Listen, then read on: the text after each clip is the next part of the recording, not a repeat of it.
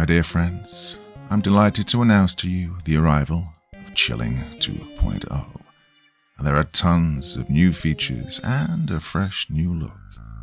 What's more, Chilling is now free. That's right, ladies and gentlemen, it is now free. There's new content, including full length novels, podcasts, and much more. And there are plenty of new features, including creator profiles, and you have the ability to follow your favorite narrators, including yours truly, as well as authors, and even be notified when they post new content, community discussions, and much, much more. More video content is coming this summer, and did I mention it's free? That's right. Start listening free today.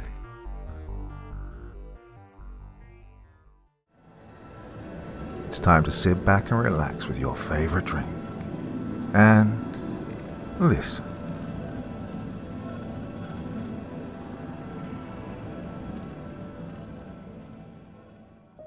You know what they say about bravery?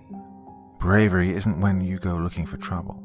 Bravery is when trouble comes looking for you. Time once again to sit back and relax with your favorite drink, my dear friends. And listen. Good day, prospective evolutionist. You're reading this because you believe the human species is on the decline. You believe there's only one logical path forward. The human species must evolve. And you believe there's only one way to accomplish such a feat through technology. The industrial evolutionists have heard your call and share your interest. We've spent years researching this issue and believe we've found a solution, a way forward. If you're interested in learning more, we urge you to follow the directions to this address. Lucas held the flyer between his fingers, skimming it over once again. It contained a bunch of preachy nonsense about oh, the glory of the machines and whatnot. Parts of it didn't make much sense, and the flyer itself looked as if it had been made in Microsoft Word in five minutes. Fairly ironic considering it went on and on about using technology to its fullest and reaping the benefits of doing so. Well, to put it lightly, the industrial evolutionist movement was not what he was expecting when he was told he'd be investigating possible cultist activity. He'd gone undercover before and dealt with overzealous religious people, but never a combination of the two. So it was with great uncertainty he agreed to investigate the industrial evolutionists. His boss hadn't told him much, or at least he couldn't remember much. His memory of the assignment's overview was a bit murky but he was handed the flyer and told it would explain what he needed to know. Well, the flyer had given an overview of the movement's ideals, the proper use of technology, humanity's dependence and continued dependence on machines, and the proposed evolutionary path humanity should take, but little more. He still didn't quite know what he was investigating. He was to be on the lookout for possible cult activity, but nothing about the industrial evolutionist screamed cultist. Sure, they seem like a bunch of misguided optimists following an unrealistic idea, but the same could be said, whether true or not, about well, every religion. Still, the idea of posing as an initiative and infiltrating a cult was certainly intriguing. He looked out his car window at the evolutionist so-called compound. In reality, the commune's place of meeting equated to little more than a run-down warehouse, right smack in the middle of the city's industrial district. The place looked long abandoned. The windows were boarded up with rotting wood. There were cracks in the concrete running up the walls, chips in dulled red paint, and not a single mark identifying the building as the Industrial Evolutionists' meeting area. Well, that raised a few questions right off the bat. Were the followers here illegally, and if so, how long? Of course, it wasn't like he could ask the questions without arousing suspicion. Lucas gazed carefully at the types of people that casually strolled into the warehouse. Men, women, young, old, of all shapes and sizes ducked through the door and out of sight. Most seemed to have an, at best, cautious and, at worst, paranoid look about them. They shifted from foot to foot uncomfortably and consistently glanced over their shoulders, checking to see if they were being watched, which, in all fairness, they were. Lucas counted around 50 people before he stepped out of his car and into the cool night. The breeze nipped at the back of his neck as he checked the time. 11.50. Just about time for the meeting to begin. He pulled his coat up, his hat over his face, and thrust his hands into his pockets as he began to cross the street. He didn't make it far, however, before he felt someone crash into him from behind. He whirled around instinctively and saw a young woman, her head mostly obscured by a grey hood, smiling up at him in embarrassment. Sorry, she exclaimed quickly. I wasn't paying attention, and you just jumped out of your car, and I totally didn't see you there. Lucas smiled back calmly, wanting to have a friendly demeanor towards these followers. It's all right, he said coolly. Hey, I'm actually fairly new here. You part of the industrial evolution movement? I could use some directions and guidance if you could. He motioned to the warehouse, letting his words trail off. Oh, no, I'm not. Well, I am, but I don't. She hurriedly fished a crumpled flyer similar to the one Lucas held out of her pocket. This is my first meeting, too. I mean, I got this letter about a week ago, and it seemed kind of interesting, and I wanted to learn more, so well, I came here. Uh, this is the right place, right? I mean, I know you just said it. Well, uh, assuming the address on that paper is correct, then yeah, this is the right place. Right, but I don't know, it just kind of seems gross. It's all broke up and ugly. I don't know. I just kind of expected more. Hey, um, if you don't mind me asking, where did you get your letter? Uh, you do have one, right? A flyer like this? She held up her paper. Oh, I got one in the mail, like you. In all honesty, Lucas hadn't thought about it, nor had an answer prepared. Her seemed to work well enough, though. Oh, you did? Oh, cool. Yeah, weird her. They just oh, know to send you one. Lucas took note of her uneasiness around the subject. Oh, um, I'm Alyssa, by the way. She stuck out her hand eagerly, changing the subject. Me and James, Lucas replied, shaking her hand graciously. It's uh, getting pretty chilly out here, Alyssa. We should head inside and hope someone else can tell us where to go from there. Smart, she agreed and followed beside him as he crossed the street. They walked in silence as Lucas thought to himself. Well, she's a bit enthusiastic, but seems harmless. This is the kind of company the industrial evolutionists are attracting, then there shouldn't be any real issues. They approached the rusted and faded door to the warehouse. Lucas held the door for Alyssa. She smiled and pretended to curtsy before heading inside. Lucas followed her in, instantly feeling a wave of warm air across his face. He stepped inside, gazing at the sixty or so people around him who chatted among themselves happily about a variety of mundane topics. The room was well lit, attributed to a series of lights overhead, yet there was a hazy fog above the crowd, dimming the lights and insulating the heat. It smelled of coal, smoke, and another odor that Lucas couldn't quite place. Rows of folding chairs had been set up in front of a wooden platform that acted as a stage of sorts. On top of the platform sat a podium and a large rectangular object with a cloth draped over it. Lucas tried to make out any features of the object, but they were obscured by the cloth. The object was around 30 feet long and 20 feet high. The fog around the room seemed to emanate from beneath the cloth. Ian, Lucas looked around the room and saw Alyssa sitting down, patting a seat next to her. She'd since removed her hood and let her long brown hair flow down her shoulders. Lucas made his way over to her and sat down, deciding it best to try and blend in instead of immediately asking questions to the other followers in the room. A few of the other people had sat down as well, scattered amongst the room, but most stood around in groups. Lucas listened in to some of the nearby conversations. Oh, who do you think it'll be tonight? I'm going to volunteer, but I doubt Father Mason will select me. I see there are some new people here. It's good to see that the movement has expanded its appeal. God knows we all need them. Sacrifice. No, it's a merging of one being into another. Sacrifice is too broad a term.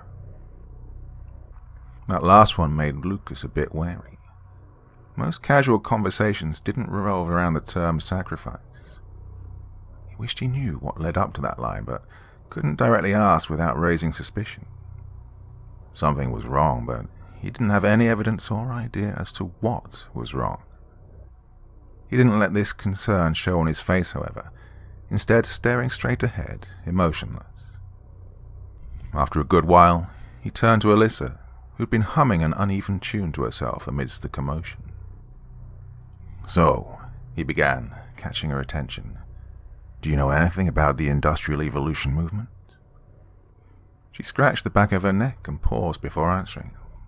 Not much. I mean, I read what the letter said and decided to do some further research over the internet, but, well, that's about it.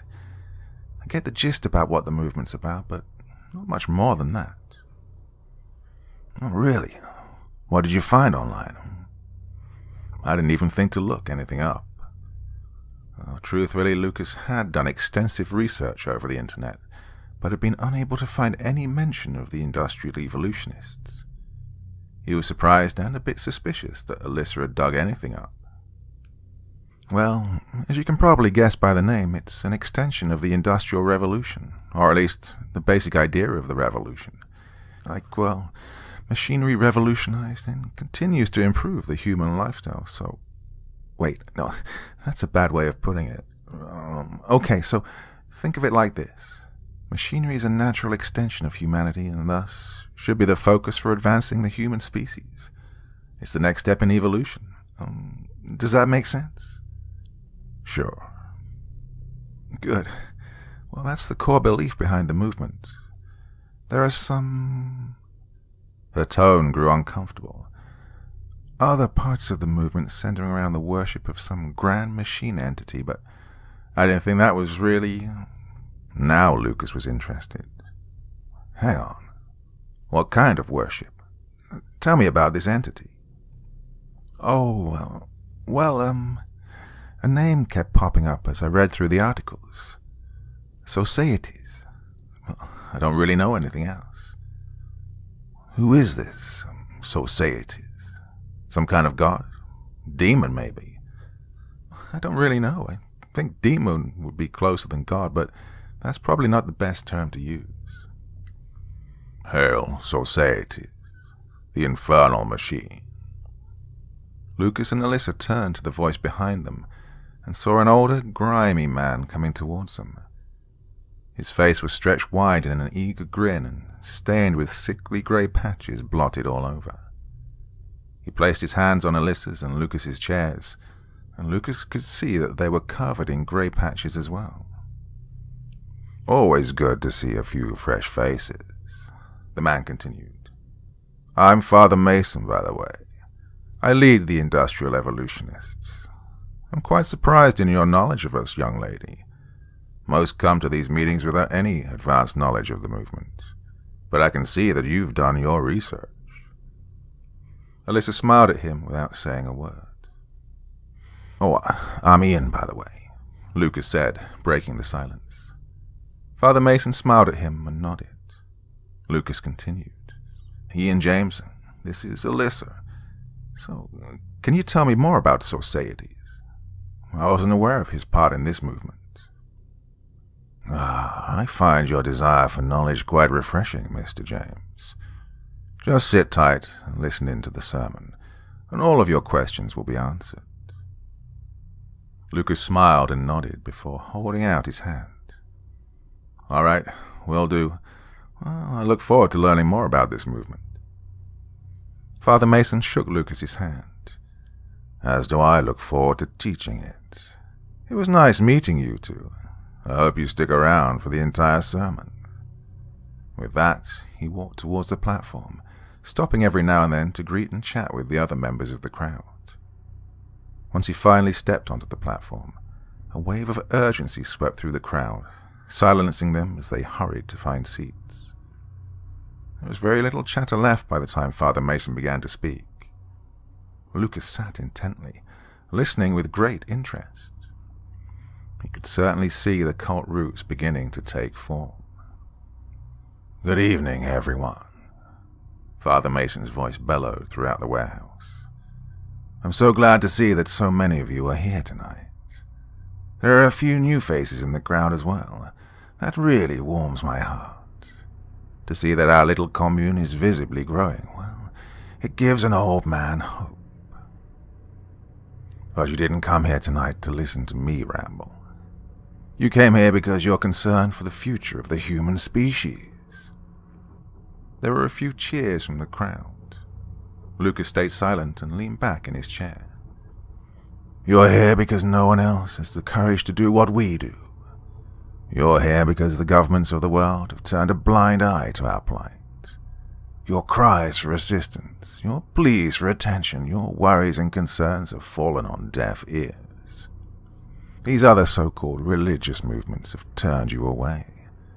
They've been corrupted by commercialism, idealistic principles, and simple human neglect.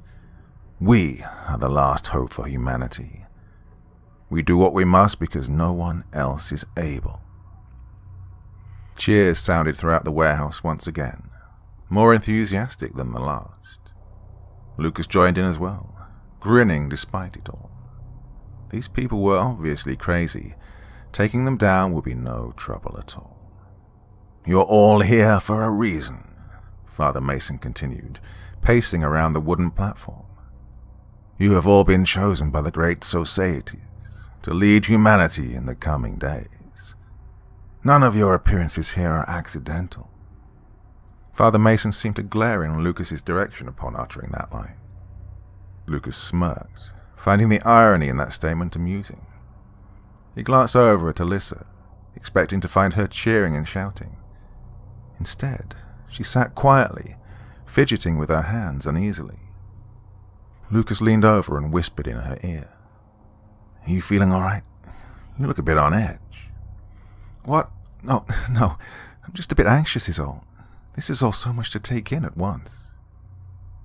We have the tools to forge our destiny, but yet they go unused. They sit in the corner collecting dust only used in the most trivial circumstances, I say no more. Not since the Industrial Revolution has technology changed the lives of so many. In these coming days, I intend to drag humanity to glory, whether they are willing or not. I refuse to let our species suffer because some people were afraid of progress. Father Mason paused, letting the crowd cheer in agreement. Despite having no idea what he was talking about, Lucas stood up and cheered Father Mason on. He enjoyed playing the part of an eager and empty-minded cultist. So, Societas has given us the instruments of our future and the opportunity to put them to work. We simply provide the fuel to the fire, the manpower necessary to operate such machinery. In a way, we drive our own species forward every time we operate the infernal machine. that is why we are here tonight. To advance the human species, we must run the machine. We must run the Society's machine. That is our purpose. We must feed the machine. We must feed Societas. We must let him complete his task. Amongst the praise for Societas, Father Mason removed the sheet from the object on stage, revealing a large mechanical contraption. It was a large piece of industrial machinery, a steel box full of numerous exposed, turning gears and cogs. Dials and gauges lined the side, next to a series of pistons and pipes leaking steam. Sparks danced from loose wires, and the fog that covered the room emanated from a smokestack near the top of the machine. There was a large turning crank on the side of the machine, connected to a large sequence of gears and belts. There appeared to be an input chute of sorts near one of the ends of the device, large enough for a person to squeeze through. The apparatus emitted a muffled humming sound, amidst the clinking sounds of metal smacking upon metal. Lucas sat back in his chair and examined the scene before him. The rest of the crowd was ecstatic, some leaping from their chairs and attempting to approach the machine, to which Father Mason shooed them away. The room filled with a thicker haze, and the sounds of machinery appeared to grow louder as the crowd's combined voices rose. Alyssa sat back, eyeing the machine on stage curiously. Lucas was a bit concerned about the machine's purpose, but tried his best to hide it. These people were harmless so far, but he worried that he knew the exact purpose of the machinery before him. Despite this, he resolved not to break his cover, no matter what happened next. If these people really were dangerous, then he'd need to play his cards right. Not what you were expecting, huh? Lucas turned to see Alyssa grinning wryly at him. Ian, I like you. I know you're new to this, but I really think you should leave. Some things are going to happen in the next few minutes that, that you want no part in. Lucas looked at her quizzically, afraid at what she was getting at. Nonetheless, he had to stay, regardless. Are you kidding? Just when it's getting interesting. No way, I need to know more. Alyssa hesitated and then shook her head. There are forces at play here beyond you or me. You want no part in their quarrel. Before Lucas could respond, Father Mason began his speech again. And here he is. So say it is, the infernal machine. Who among you, my brothers, is worthy of joining him? Who among you wishes to feed the machine? To use your body as a driving force in humanity's evolution? Who among you wishes to throw your body upon his gears and into the pits of eternity? Numerous figures in the crowd shot up, raising their hands and begging for the opportunity. Lucas sat still, breaking into a cold sweat as he dreaded what was going to happen. Father Mason gazed around the room, pointing at various followers and shaking his head. After about a minute of this, he held up a hand, urging silence, and continuing his sermon. I appreciate your eagerness, my brothers, but tonight is a special occasion. You see, there is a special guest among us. Societas has sent us a body. There were hushed murmurs among the crowd. Lucas kept his head down and his eyes fixed on the machine, trying to avoid suspicion. He was confident that he hadn't been detected. It wasn't possible. There was no way they could have detected him, right? Father Mason paced around the platform before settling down behind the podium. He gazed directly at Lucas as he spoke. Yes, this person may believe they have infiltrated our inner sanctum, but they are only here because Societas wills it. This person has been sent to us to serve not only as fuel to the machine, but as an example, to show that we are not a force to be trifled with, to show that Societas holds the power, to show that we are the future of humanity. Lucas gulped and looked around quickly, searching for the nearest exit. There stood around thirty people between him and the door, if he made a dash for it in the next few seconds, he might have a chance. He turned to stand up, only to see Alyssa had risen from her chair as well. She moved in his direction, brandishing a sizable pistol in her hand. Thinking quickly, Lucas leapt at her, reaching for the gun before she had a chance to train it on him. She yelped in surprise, and the two fell to the ground, fighting for the weapon. Alyssa grabbed at the gun and tried to roll away, but Lucas managed to pin her arm and wrestle the gun away. What the fuck are you doing? Alyssa snarled.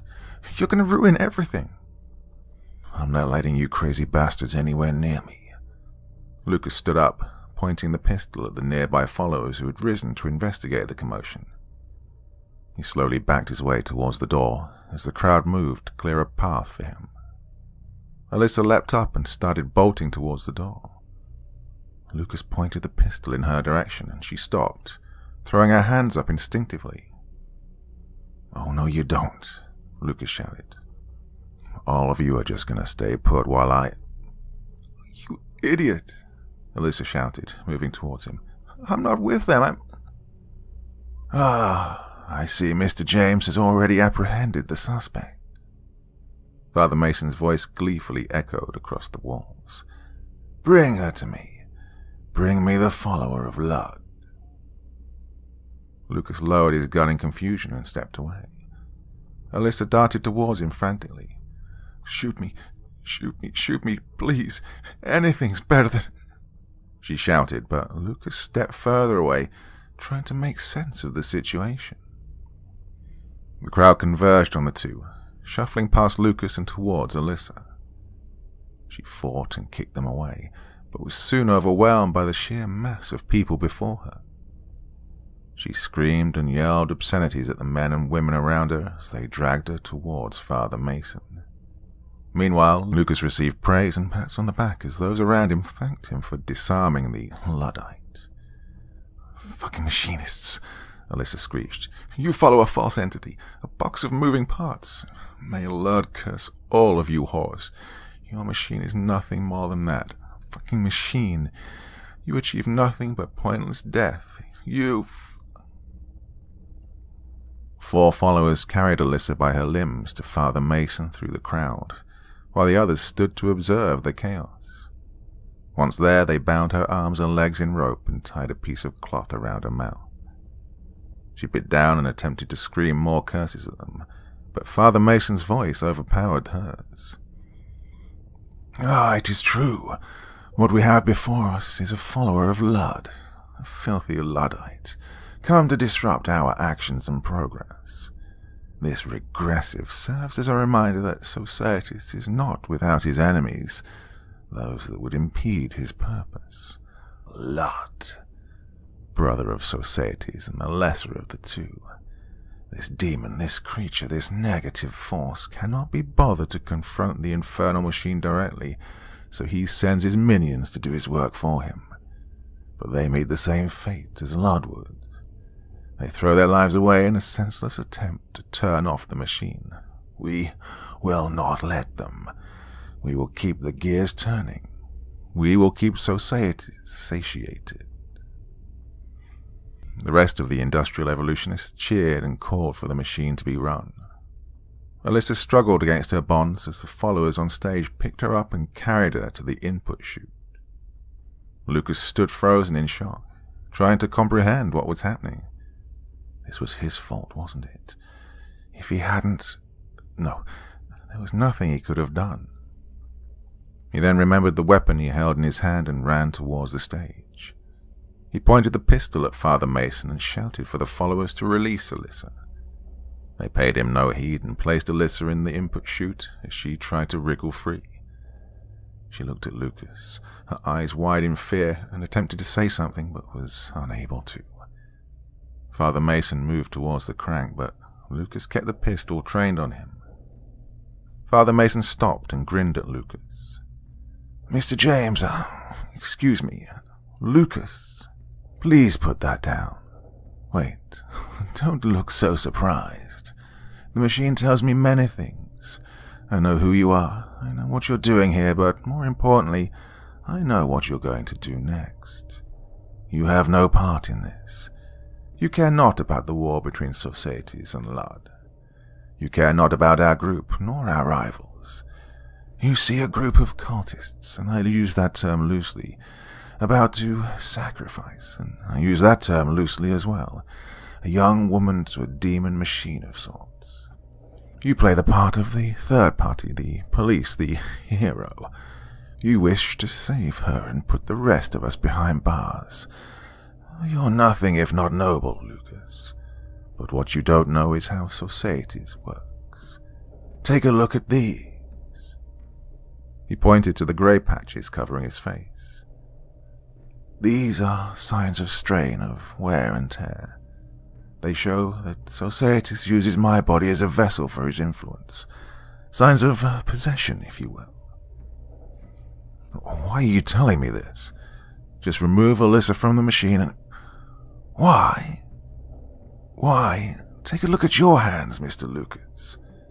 I do find it quite beneficial that we shook hands earlier tonight. It's like the signing of a pact. Lucas kept the pistol trained on Father Mason as he pulled one of his hands closer to his face. He could see the same diseased patches that covered Father Mason's face now covered his hand and arm as well. He lowered the gun and checked his other arm, finding it to be covered in patches as well. He looked at Father Mason helplessly. You. I, I don't feel right. Indeed, Lucas had felt a nauseating presence take root within his body. He stumbled and nearly fell before bracing himself against the machine. Alyssa screamed something at him, but it was lost amidst the sudden scraping of metal and turning of gears. Steam hissed and conveyors rattled inside his skull as Lucas tried to gain his bearings. He reached out, trying to pull himself up, and his hands found their way to the crank beside the machine. His vision blurred as smoke, whether real or not, obscured his sight. Turn the crank, Lucas. Run the machine. Father Mason's voice was the only thing Lucas could hear. It was so commanding, so imperative, so crucial that Lucas turned the crank. He had to turn the crank. He had to run the machine. He had to feed Societas. He had no choice. Lucas began to turn the crank. The machine roared to life, its gears spinning and its cogs grinding against one another. Steam escaped into the open air, pistons pushed themselves upwards and downwards, and conveyor belts began to roll. There was a muffled screaming coming from inside the machine somewhere, but Lucas ignored it. It was essential that he keep turning the crank. After a few moments, the machine began to produce a different noise. Instead of metal pounding and scraping against metal, he could hear the metal striking a much softer surface and pressing it down with more ease. Something was caught between the cogs as they fought to keep turning. Steam no longer hissed. A new liquid simply dripped from the pipes onto the equipment beneath.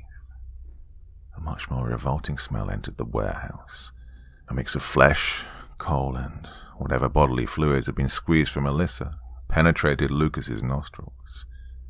He fought off the urge to vomit and focused on turning the crank. The temperature in the entire building increased as the screams of agony slowly died off. The crank became increasingly more difficult to turn, as if Lucas was actively fighting against something in the machine. He powered through, feeling blasts of hot air around him as the sweat fell down his face. Blades spun within the machine, Drills bore through flesh and bone, and Lucas hoped Alyssa had expired quickly, lest she feel the machine literally tear her apart. But he could not stop. He knew that, no matter what, he had to finish turning the crank. There was a ding, and a whistle went off. The crank refused to budge, and Lucas released it, crumpling to the floor and clasping his head. Lucas could hear a distant cheering in the background, but focused on the pain inside his head. Despite not turning the crank anymore, the sounds of machinery remained and grew louder within his mind. He could all but feel the steam flowing through his veins, the pulleys in his arms turning as he fumbled around on the floor, and the teeth of the gears pushing on the inside of his skull. A fire roared in his chest as his body consumed coal and fuel. He wanted it to stop. Oh, he needed it to stop, but God, why wouldn't it stop? He wasn't a machine. He was a person. A person. A person. A person. Do you wish for it to stop, Lucas? Father Mason seemed to read his thoughts. He hadn't realized he'd said those things out loud. He mumbled something under his breath that sounded like a vague yes, but wasn't sure it would be heard over the sounds of the machinery. Step into the machine, Lucas. Father Mason guided him gently. Yes, yes, that was where he needed to go. Into the bigger machine. He was a machine too, right? It made sense to give his parts to the larger machine. It needed to complete its purpose after all. Fuel. Fuel. Fuel. It needed fuel. He was fuel, right? He could already feel the machine inside him.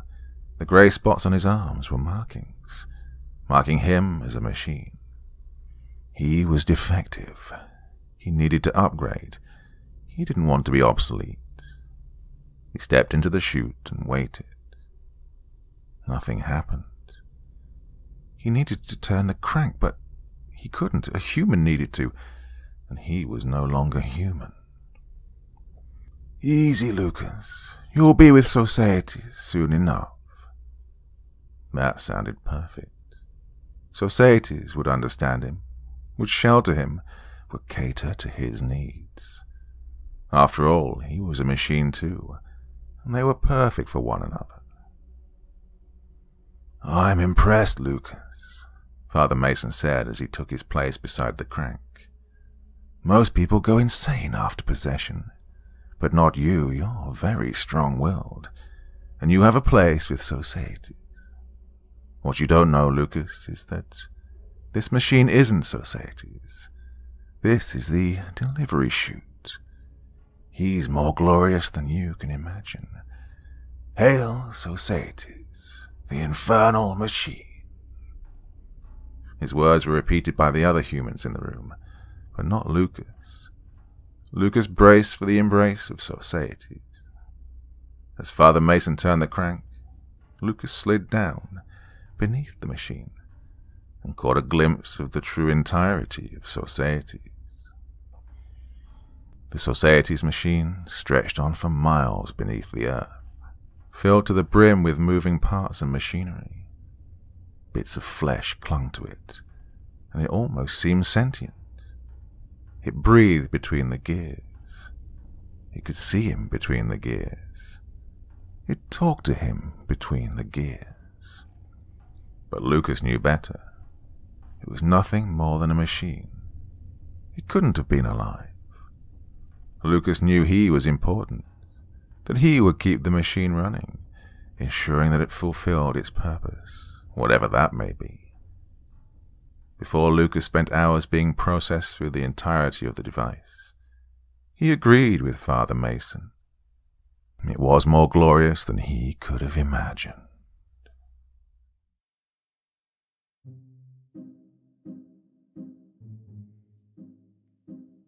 So, um, yeah, what on earth was that all about? That's one of the most bizarre things I think I've ever read. Hope you enjoyed that one for your Monday evening's entertainment. So, yeah, uh, Special thanks to everybody who dropped by last night to comment on the um, behind the scenes footage video. Yeah, it was, um, I think some of you were like thinking, oh, this is going to be a great story, and then you were a bit disappointed because all it was was me talking about some of the video clips I took for subsequent, like, you know, soon to be released videos.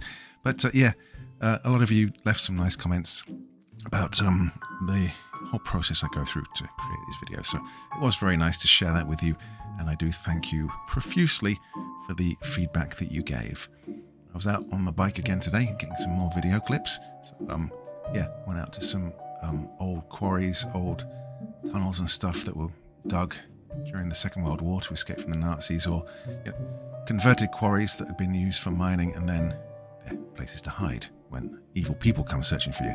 So hopefully those are going to be quite nice for you to see in subsequent uh, videos as well. Anyway, yeah, thanks a lot.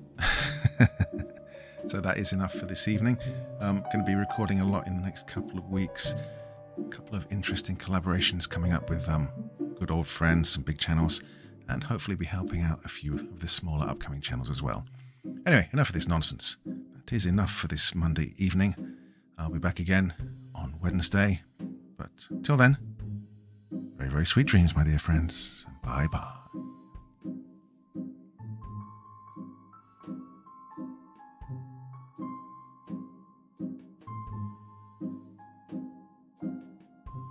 Thank you so much for taking the time to listen to this story today. really means a lot to me and to the author of the story, of course. Well, if you want to know more about me, I'm pretty much everywhere on social media. You can find me on Facebook, Twitter, Instagram. You can download my music on SoundCloud. Um, I've got a Patreon if you feel like. Throw me a dollar or two. Very much appreciated. And of course, on Reddit, I have a place where you can leave stories if you want me to read one that you've written. Well, hoping to see you all again very soon. Till then, sweet dreams. And bye bye.